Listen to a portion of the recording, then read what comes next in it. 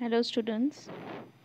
Now in the last session we studied about the characteristic of a sound, alright, frequency and the speed of the sound, alright, and the wavelength of the sound. Now in the next session we are going to study about the pitch, the amplitude of the sound, alright.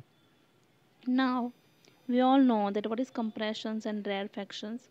Compression is nothing compressions and rarefactions are nothing but the sound waves sound waves are produced in the form of compressions and rarefactions okay compression है जहाँ पे high pressure है वो compression होगा और जहाँ पे low pressure है वहाँ पे रैरफैक्शन है सेम थिंग फॉर डेंसिटी जहाँ पर हाई कम जहाँ पे कंप्रेशन है ओके okay, वहाँ पे सी भैया ये कंप्रेशन है वहाँ पे डेंसिटी इज़ हाई एंड जहाँ पर रेयर फैक्शन है, वहाँ पे डेंसिटी क्या है? लो ऑल राइट ठीक है? Now next we will study about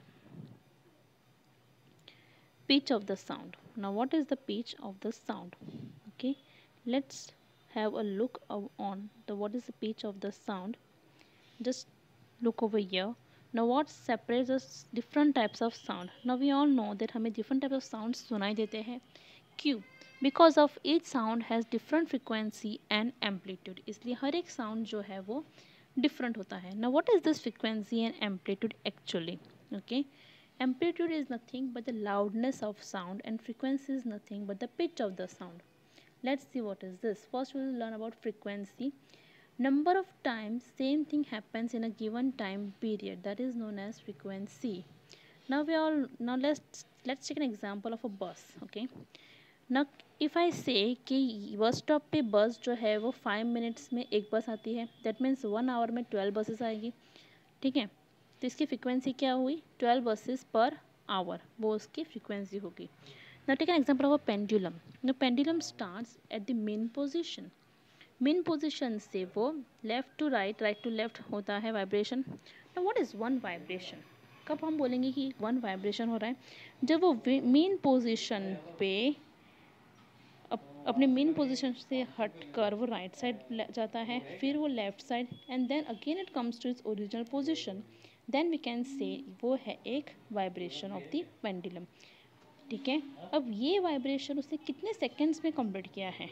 From right to the main position, again from left to the main position. That is one vibration. अगर ये वाइब्रेशन उसने वन सेकेंड में अगर कंप्लीट किया है तो हम बोल सकते हैं कि उसकी फ्रिक्वेंसी हुई वन हर्ट्स ठीक है? Vibrations completed in one second is nothing but its frequency अगर पेंडुलम ने वन सेकेंड में अगर वो वाइब्रेशन कंप्लीट किया है तो हम ये कह सकते हैं कि पेंडुलम की जो फ्रिक्वेंसी है, वो वन हर्ट्स है. ठीक है? वही अगर टू वाइब्रेशंस उसने पर सेकेंड एक सेकेंड में अगर वो दो वाइब्रेशन कंप्लीट करती है तो we can say that two hertz is its frequency अगर उसने थ्री वाइब्रेशन कंप्लीट किया पर सेकेंड तो हम बोल सकते हैं कि उसकी उसकी जो फ्रिक्वेंसी है, वो थ्री हर्ट्स है. Now what is the pitch of the sound sound की पिच किसको बोलते हैं? पिच वो है कम या ज़्यादा साउंड कभी साउंड हमें बहुत ज़्यादा सुनाई देता है, कुछ साउंड हमें बहुत ही कम सुनाई देता है. Now take an example of a piano ठीक है? पियानो के कीज़ अगर तुमने कभी भी पियानो को बजाया होगा ओके तो हमें पता है कि हर एक की का जो साउंड है, कुछ कीज़ का जो साउंड है, वो लो साउंड है, कुछ की का साउंड जो है, वो बहुत ही हाई साउंड है। ऐसा क्यों? Because of its pitch pitch is nothing but the number of vibrations ठीक है कितनी बार वो एक सेकेंड में कितनी बार वो वाइब्रेट करता है। ठीक है, अगर जब भी हम लोअर एंड कीज़ को जब हम प्रेस करते हैं तो वो जो वाइब्रेशंस हैं, वो धीरे धीरे वाइब्रेट होता है। दैट्स वाई हमें उसकी साउंड कम सुनाई देती है। जब हम हायर लेवल वाली हायर एंड को जब हम प्रेस करते हैं तो वो जो है वो बहुत ज़ोर से वाइब्रेट होता है। इसलिए हमें ज़्यादा फ्रिक्वेंसी ज़्यादा साउंड सुनाई देता है। Right now it is not necessary कि high and low sound determines the loudness of a sound, okay? High and low sound is not equal to the loudness of sound. For example यहाँ पे you can see अगर हम chalk को scratch कर रहे हैं तो चौक जो है वो एक सेकेंड में बहुत बार वाइब्रेट हो रहा है। दैट मीन्स लेकिन हमें चौक का साउंड इतना नहीं सुनाई देता है। ठीक है? वही अगर हम ड्रम को ले ड्रम को अगर हम एक ही बार वाइब्रेट करते हैं, ठीक है? एक ही बार अगर वाइब्रेट करने से ड्रम का आवाज़ जो है बहुत ही ज़्यादा सुनाई देता है। ठीक है? तो चौक का जो पिच है, वो हाई पिच मतलब बहुत बार वो वाइब्रेट करे एक सेकेंड में हाई पिच है उसकी, पर उसकी साउंड इतनी लाउड नहीं है। और वही ड्रम को अगर हम एक ही बार वाइब्रेट कर रहे हैं, वो एक ही बार वाइब्रेट हो रहा है, फिर भी उसका जो साउंड है वो बहुत ही ज़्यादा है।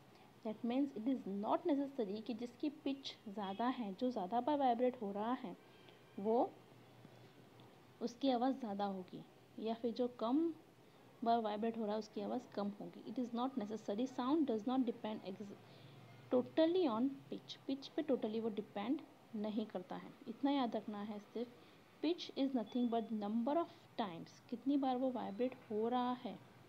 ठीक है? वो है उसकी pitch now loudest of sound जो है वो डिपेंड करता है एम्पलीट्यूड पे। मेन जो है वो एम्पलीट्यूड है। ना amplitude is nothing but the distance from the main position ठीक है? वाइब्रेशन अगर वो करता है मेन पोजिशन से उसका वाइब्रेशन का जो डिस्टेंस है टूवर्ड्स द एंड पोजिशन कितना है? यहाँ पे अगर हम पेंडुलम लेते हैं from its main position to the right side जिस, जहाँ तक वो वाइब्रेट हो सकता है एंड पॉइंट तक उसका जो डिस्टेंस कितना उसने ट्रैवल किया है that is its amplitude so higher the amplitude higher will be the sound. Same thing for a tuning fork. अब ट्यूनिंग फॉक जो है जब भी वो वाइब्रेट करता है तो वो ये हमने देखा यहाँ पे मेन पोजीशन से लास्ट एंड तक उसका वाइब्रेशन का जो डिस्टेंस है maximum distance that will be its amplitude okay ज़्यादा वाइब्रेट किया तो उसकी जो डिस्टेंस है वाइब्रेशन की वो बढ़ जाती है। तो लार्जर एम्पलीट्यूड वो कवर कर रहा है। लार्जर डिस्टेंस कवर कर रहा है larger amplitude so more the amplitude, louder will be the sound. And less the amplitude, lesser will be the sound. मतलब अगर ज़्यादा डिस्टेंस कवर कर रहा है तो साउंड ज़्यादा होगा। अगर कम डिस्टेंस कवर कर रहा है तो साउंड कम होगा। ओके फीबल साउंड मतलब लो साउंड है तो lower amplitude and loudness of sound is proportion to amplitude square मतलब एम्पलीट्यूड अगर दो गुना हो गया तो लाउडनेस चार गुना हो जाएगी। एम्पलीट्यूड एम्पलीट्यूड अगर तीन गुना हो गया तो लाउडनेस जो है वो नौ गुना। में मतलब नाइन टाइम्स वो ज़्यादा बढ़ जाएगी। ना what is time period time period is nothing but one oscillation okay time period is nothing but one oscillation in one millisecond time period is equal will be measure in one millisecond okay one oscillation in ten millisecond time period is equal to ten milliseconds okay one oscillation मतलब वो time period one vibration में उसने कितना time लिया है? That will be its time period okay ना we will take a short revision frequency is nothing but number of vibration per second when an object is set in to vibratory motion amplitude maximum distance covered by a body from its main position when set in to vibratory motion and time period is nothing but